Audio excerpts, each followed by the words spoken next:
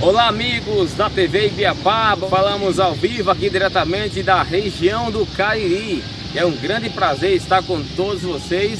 Vamos conferir o resumo das principais informações da semana. Confira conosco, gira para nós. Um policial militar estava de folga quando foi morto a tiros por volta das 6 horas desta quinta-feira, dia 12, em Mauriti, aqui na região do Cariri cidade que fica a pelo menos 74 quilômetros da cidade de Juazeiro do Norte. José Samuel Bezerra Janoca. O soldado S. Janoca tinha 35 anos. Trabalhara em Barro e residia em Mauriti. O local do crime foi próximo da sua residência, em uma rua localizada por trás do cemitério. Os policiais de Mauriti e região estão trabalhando no sentido de averiguar e prender os suspeitos desse crime bárbaro. Três pessoas foram assassinadas entre a madrugada e a manhã dessa sexta-feira na região do Cariri, sendo duas em Mauriti e outra em Barro.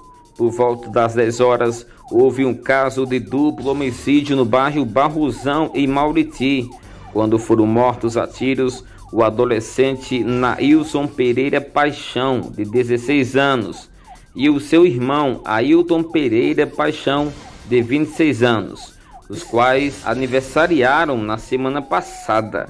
Informações que temos. Eles moraram na rua 12 daquele bairro e a polícia de Mauriti não conseguiu informações sobre a autoria dos crimes. Até agora não temos nenhuma informação de que esses crimes tenham relação com o crime do militar que foi morto também. Seguimos em busca de informações claras para trazer dentro da TV Ibiapaba.